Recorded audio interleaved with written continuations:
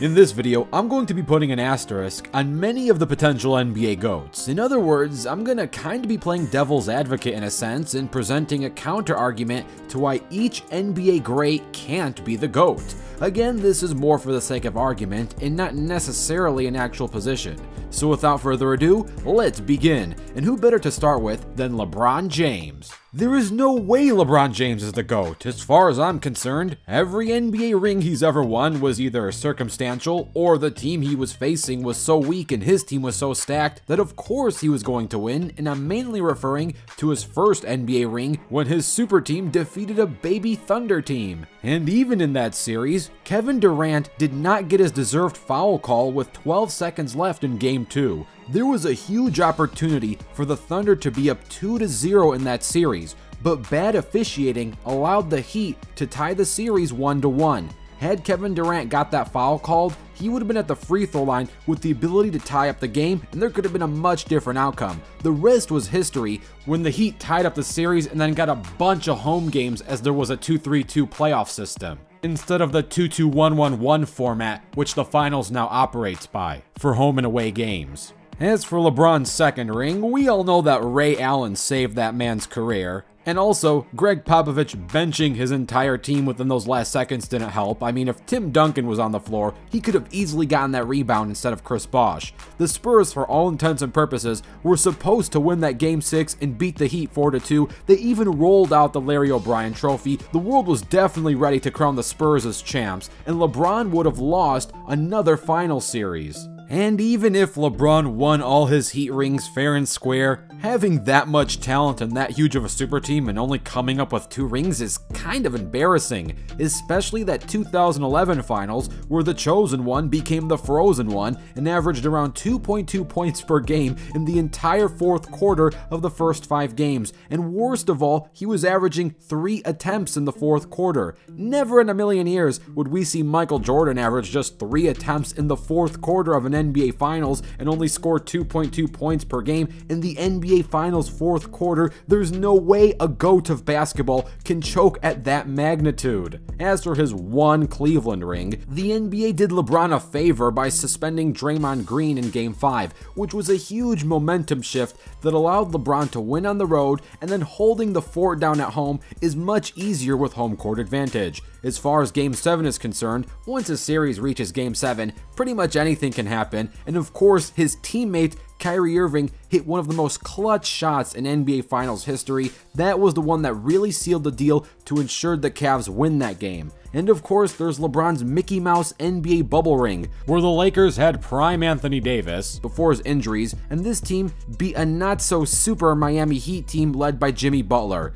Despite being the clear favorites, the Lakers still drew out the series to six games when they had no business having this series be that close. LeBron going to so many finals were more of a product of a weak Eastern Conference. There's no way LeBron goes to 10 straight Western Conference finals. The East was no beast at the time. LeBron is struggling to make it to Western Conference playoff series, let alone Western Conference finals. All in all, LeBron has four rings, but three of them seem kinda hollow, and with only one solidly earned ring, no way there's enough cachet to be the GOAT of the NBA. Oh, and I didn't even bring up Le 4 and 6 in the NBA Finals. He's had so many All-Stars and so much help, yet he still lost 6 NBA Finals. He has a losing record, yet he played with so many future Hall of Famers. Yeah, LeBron's not the GOAT.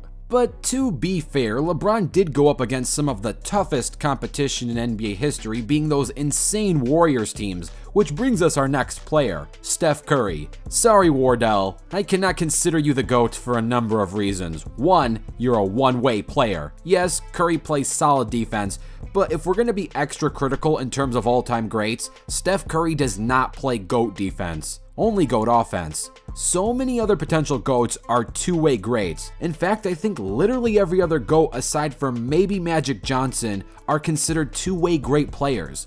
Curry's not a bad defender, and he's technically an okay defender, but he's not a GOAT status elite defender. Also, two of his rings come with Kevin Durant, and he was facing LeBron James with J.R. Smith. And in the first Warriors Cavs finals, LeBron all alone took the Warriors to six games. That's kind of embarrassing on the Warriors' part. When Steph Curry faced a fully healthy Cavs team, he lost to them. Next up, we have Bill Russell, and before we begin, I just want to say both on and off the court that he was a legendary man and he had an awesomely positive impact for not just the sport of basketball, but for the world itself. May he rest in peace. I am only being critical of his basketball NBA ability. With that in mind, Bill Russell can't be the GOAT for a number of reasons. One of the biggest reasons is that most of his opponents were milkmen and plumbers, while the Celtics had one of the strongest NBA teams ever constructed. During every season of his career, Bill played with no less than three and as many as seven other future Hall of Famers on his very same roster. So at every given moment, every waking second he stepped on an NBA court, alongside him was at least three and at most seven Hall of Fame all time greats. Forget Super Team or Justice League teams, this was a straight up entire Infinity War worth of superheroes on your side. Also, his trips to the finals were much shorter and technically easier by those standards. There was only a division semifinals, a division finals, and lastly, an NBA finals. So just three rounds, and the semifinals were a best of three, not a best of seven. Plus, for the bulk of his career, there was only 8 teams, and before you say that less teams would cause more competition, keep in mind the Celtics had a monopoly on NBA talent at the time. Less teams was most definitely something that worked in their favor. Once they knew how to beat said teams, all that was left was the repetition. More teams create more randomness, and more randomness makes it harder to go to the finals. If the GOAT debate was ever about ring total, there would never be a debate. Bill would be the GOAT and there'd be no discussion. Even without putting an asterisk, I think fans value the quality of rings over the quantity of rings, and that in itself is self explanatory why players with much less rings are in this debate over Bill Russell. What's not self explanatory is how anyone would consider putting a guy who averages 26 points per game, 12.5 rebounds, and 4.4 assists per game with a PER of 26.9 in the GOAT debate. And they wouldn't because that's prime Kevin Love stats. No one would ever put Kevin Love in the GOAT debate, and they shouldn't. With these stats in mind, let me remind you that Larry Bird averaged 24.3 points per game, 10 rebounds per game, 6.3 assists per game, with a PER of 23.5, so slightly worse stats all across the board, but two more assists. They are both not that athletic players and just about equal three point shooting as they both shoot 37% from beyond the arc. Now, I'm not saying Larry Bird would just be a mid tier all star like Kevin Love is. What I am saying is Larry Bird is not the GOAT. There are clearly better players than Bird, and Lakers fans don't get too excited because Magic and Kareem aren't the GOATs either. Kareem may be the all time points leader for now, but no one would ever say he's the greatest scorer ever, just like how many don't say that John Stockton is the best passer ever, even though he leads the league in assists. The phrase of best passer ever is usually reserved to Magic Johnson, who has less assists than Stockton. Also, Kareem played in the 70s for a large part of his career, one of the most star-lacking decades in NBA history, and one of the most fastest-paced games in NBA history, with huge amounts of point inflation due to the breakneck pace of the late 50s, 60s, and even early 70s. Pretty much what I'm getting at is that a lot of Kareem's regular season MVPs aren't the same as Jordan getting all of his MVPs in the star-studded era that he played in. Not that MVP total should be any sort of measure for ranking players anyway, because no one on earth would say that Steve Nash is a better player than Kobe Bryant because he has more MVPs than him, it's a terrible argument. And thus, Kareem's MVP total should be considered the same logic. Kareem also played with the Showtime Lakers alongside greats like Magic Johnson and James Worthy. But Magic isn't the GOAT either, so let's get into that. A magician never reveals his secret, but it's no secret that Magic Johnson was a turnover machine as he averaged nearly 4 turnovers a game. That's pretty much twice as many compared to other great point guards like Chris Paul, Steve Nash, Jason Kidd, and John Stockton. Take Chris Paul, who averages about 2 turnovers a game. Imagine if he had twice as many turnovers. The NBA would scrutinize him so hard that he would have to be like his brother and sell car insurance. Especially because he's not a champion, so they would directly blame his turnovers for the lack of rings. One of the only other all-time great point guards who averages the same amount of turnovers as Magic Johnson is Russell Westbrook, and we already know how much criticism Westbrook gets for his turnover average. Speaking of Westbrook, people nickname him West Brick, but he's a much better three-point shooter than Magic Johnson ever was, and he averaged just about the same amount of assists as Magic Johnson. They also average about the same amount of rebounds at a little over of 7 per game. If you look at both of their stat sheets and not their trophy case, it actually would be quite hard to tell the difference statistically between Russell Westbrook and Magic Johnson. Yet no one is saying that Westbrook is the greatest point guard of all time. And Westbrook's stats are diminished over time due to playing so long. If you just compare primes, you could make a statistical argument to say that Prime Westbrook stats look better than Prime Johnson stats. Magic is also not an all-time great defender. He's a good defender, but not a GOAT status defender. It is fair to be critical to say that he doesn't have GOAT-worthy defense, which is why I would personally take Kobe over Magic in an all-time Laker debate. But speaking of Kobe, as great as he is, he's not the GOAT either. Before I begin, I do want to say that Kobe is an amazing player. He's a legend and may he rest in peace. We are just going to be critical of his NBA basketball talent. Kobe Bryant is not the GOAT. He has five rings, but three of them you could say were Shaq's teams and Kobe was just a sidekick as Kobe was 21, 22, and 23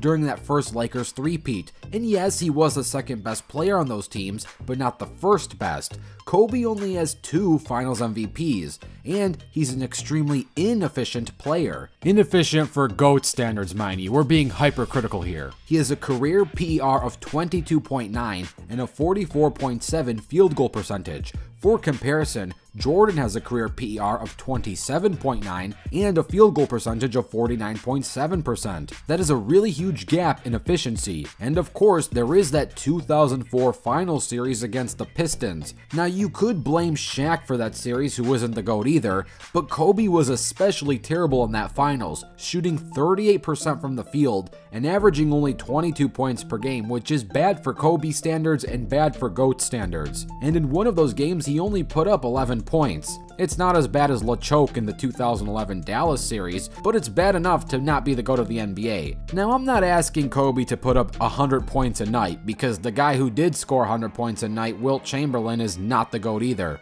And again, before we begin, Wilt was an NBA legend both on and off the court, may he rest in peace, but he is not the GOAT. Some might even say he's the greatest stat padder of all time. There's a reason why Wilt didn't win any rings until after he stopped chucking up shots and being a ball hog and started sharing the rock. It's because Wilt's high scoring days did not lead to winning basketball. Also, the league average for those times had a team average of 73 rebounds per game, which is insane to think about. So Wilt getting all those rebounds in that era could be argued to be more a product of the era itself than Wilt's own rebounding ability. Wilt is still a great player and a legendary man, but it's hard to say he's the GOAT of the sport with his so few ring total and the fact that his major stats didn't lead to championships in the first place. Now again, he eventually did win rings, but not during his amazingly unpossibly high stat days. Alright, alright, it's enough of bashing these NBA legends. It's time we be extra critically harsh on the guy many consider the GOAT, and that is Michael Jordan. Jordan was a great player, no doubt about it, but many forget just how great the basketball legend Scottie Pippen was as well. Jordan's record without Pippen is 154 and 170, which is a win percentage of 47.5%. And in the playoffs, he's 1 and 9 without Scottie Pippen. That's a win percentage of just 10%. On the flip side, Pippen without Jordan has a record of 295 and 185 with a win percentage of 61.4%. And in the playoffs, he has a non-Jordan record of 19 and 21 with a win percentage of 47.5%. Plus, Scottie almost led the Bulls to the conference finals without Jordan. Another thing I want to bring up is that maybe, just maybe, Jordan's mid-career retirement created a mythos around his two three-peats. Imagine if he never retired during his prime and then played those seasons out. What if he got fatigued and didn't have a perfect finals record because of it?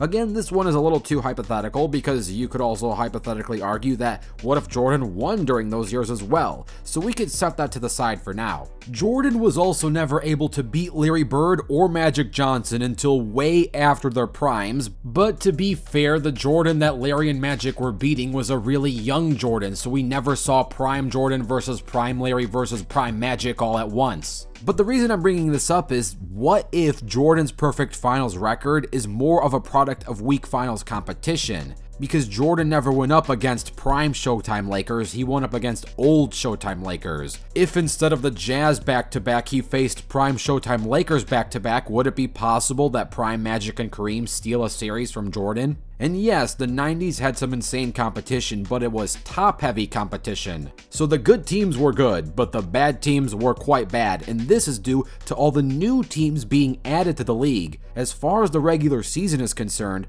this was an expansion era, so there were so many new cities who got teams like Miami, Minnesota, Charlotte, and Orlando. And during the regular season, there was a lot of cannon fodder for the better teams to just build up their good records and get easy wins and nice stats, which helps Jordan's overall win percentage and stat outlook and might make it much stronger than it really is. Imagine if LeBron James during his regular seasons were facing baby teams in cannon fodder. Would his regular season stats look much nicer than they already are and have a higher PR? Who knows? But anyway, if none of these players are the GOAT, then who is? Well, of course, it's a close call between Tacko Fall and Brian Scalabrine, but that debate is for another video. Let me know what you thought of this video, and if you want me to add more players in the future, I would love to talk about the likes of Hakeem Olajuwon, Tim Duncan, and much more. Don't forget to dunk on that like button, subscribe with notifications turned on. I'm Rebound Rewind, and I'll fast forward to you later.